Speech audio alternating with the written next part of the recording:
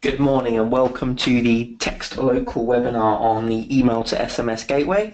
My name's Tom. I work here in the uh, onboarding section of Textlocal, working with new customers to the platform. So this morning what I'm going to do is run through the basics of the email to SMS gateway with you and show you exactly how these work, hopefully answering a few common questions that crop up along the way and giving you a, a live demonstration of, of how this actually works. What we need to do this morning is to make sure that we've got our Textlocal account open and also our email account that we want to be sending the text messages from. And once we've got these open, we should be ready to go. Um, if I can also ask uh, that you have uh, your handsets with you, we can do a live demonstration of this as we go along. Uh, and if I could ask if you could do all do me a favour by texting in webinar to 60777, as you can see on my screen there. Uh, that will be fantastic. Um, if you can text into that, then what we'll do is when we come to the live demonstration later on in the platform, I'll send you all a text message from the email to SMS gateway. So, first of all, if we want to start using the email to SMS gateway, we need to log into our Textlocal account and configure the settings correctly. So the way that we do this is by going to our settings button on the dashboard, clicking on email to SMS, and then there's a couple of things that we need to do. So first thing we need to do is click on the activate email to SMS button, which is just here. We then need to make sure that we add our authorized email address that we want to send from. So as you can see, I've added mine in there ahead of this morning. You can add multiple email addresses in here and you can control the sender name that's going to be used as default as well. So by clicking on the little drop down button, it might be that different users have different sender names and we can control that nice and easily on there. On the left-hand side here, we've also got the ability to truncate our SMSs on our email to SMS gateway. Now, the reason this could be used is potentially what you might want to do as a user is stop people burning through credits on the platform, um, and you might want to prevent um, any extra long messages being picked up by accident, which you can do in the subject handling box here, we can choose what we want to do with the subject line. Um, so majority of our users of the gateway will only use the email body rather than the subject line. If you choose to add the subject line to the start of the message, at the top of the message, that would give you your subject line, followed by a space, followed by the message, in almost replicating an email exactly as to how that works. And then we've got a couple of other little buttons here, uh, which we'll, we'll, cover later on during the session in regards to, to what we do with those. Now, once we've configured our settings, so we've got our authorized email address, uh, we've clicked on activate email to SMS, we've got our sender name, we just need to click save those settings. What we're now going to look at is sending messages to groups of people. So hopefully um, I should have some people who text in uh, to the webinar. So let me just quickly look at the inbox now. Uh, here we go. Ah, excellent. We've had somebody text in, which is great. Uh, we've had a couple of you text in. Fantastic. Um, so I'm just going to move you into a contact group by just selecting there and just need to move you through to the group there. So if I now go into my contact group within the platform and go into webinar email to SMS, you will see at the bottom here we've got a little I button which is whereby it will give you the email that you need to use to send a text to this group. So all I'm going to do is just copy and paste that and then I'm going to take that into my email platform. So what I'm going to do is click in here. I'm going to compose an email. I'm going to put in that email address that I want to send to. On this particular message, uh, I'm not going to use a subject line, um, so I'm just going to now quickly send it a quick test. So, good morning.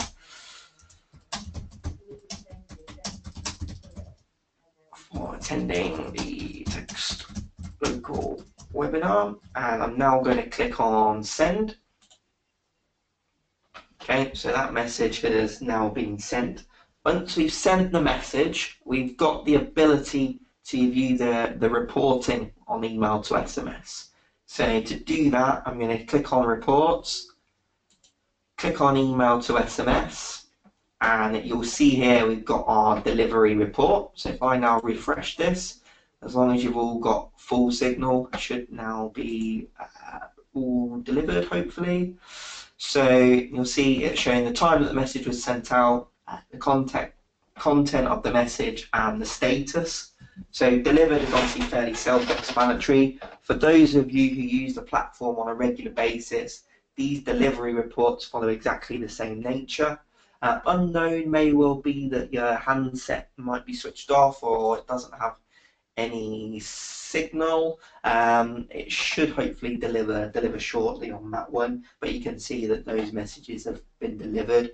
As long as the handset is switched on uh, and they've got full signal uh, with the email to SMS gateway, you should still expect to receive that message instantly. What we're going to look at next is how we customize the sender name when using the email to SMS gateway. So we've seen by clicking into the settings section, uh, we can control the sender name uh, in here. So we've seen we can control that in there and in there. But what we can also do um, is we can change this in the body of the email. So if we click on compose, if we wanted to change our sender name or add a unique sender name with the email to SMS message we'd send, all we would do here is simply type in sender equals and then our name. So I'll call this uh, text local Tom. Say if I now copy and paste the group and we'll just call that test you should now receive a message from me uh, which will have a smaller I'll just use my initials instead, but it should have a different sender name to the one that you received earlier. So we'll, we'll click on that.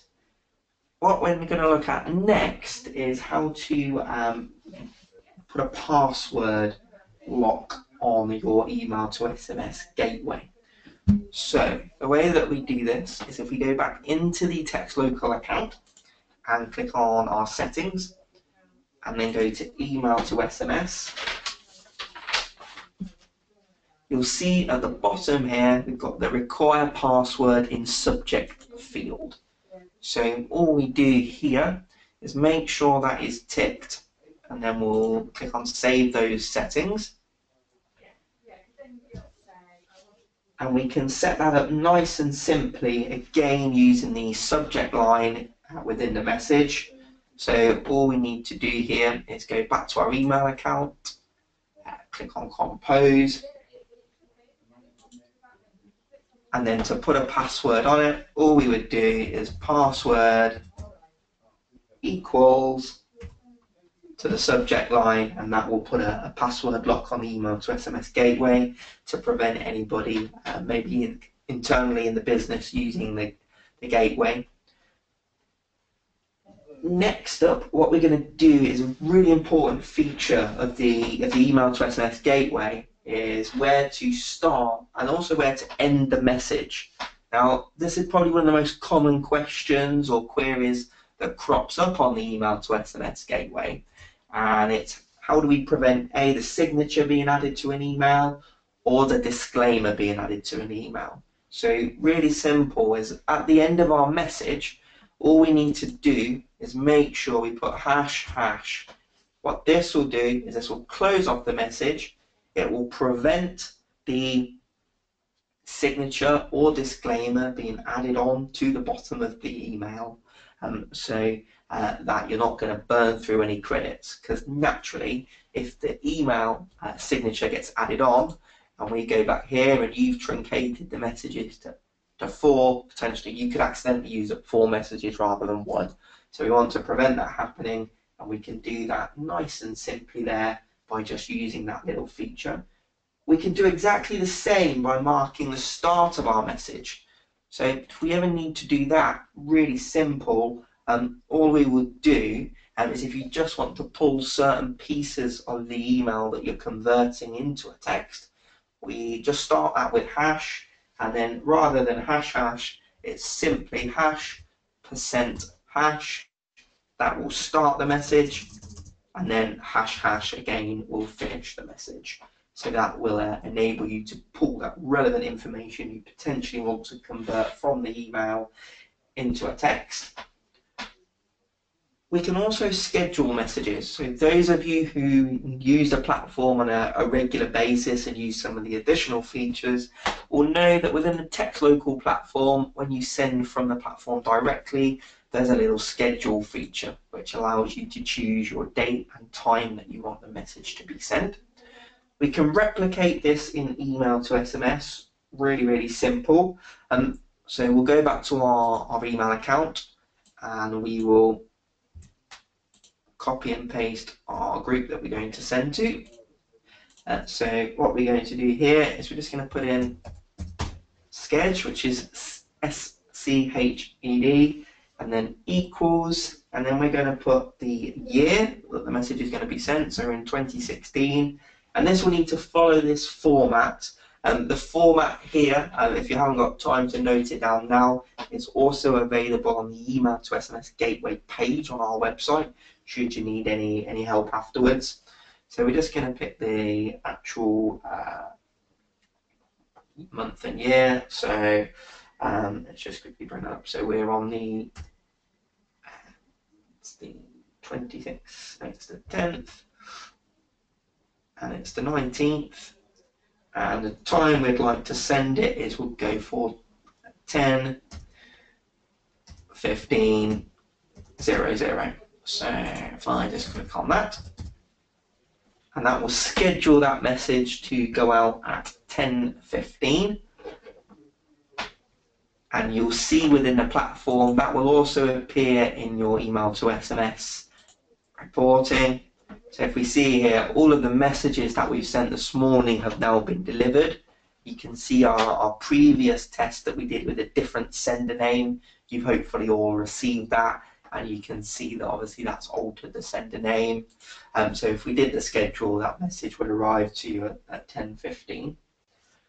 Now, hopefully that clears up the majority of the questions and I've shown you the majority of the features of the email to SMS gateway and what you can do with those. And if you've got any further questions, um, obviously feel free to type those in in the in the question box on the webinar um, I'll come back to you afterwards and, and we can answer those questions.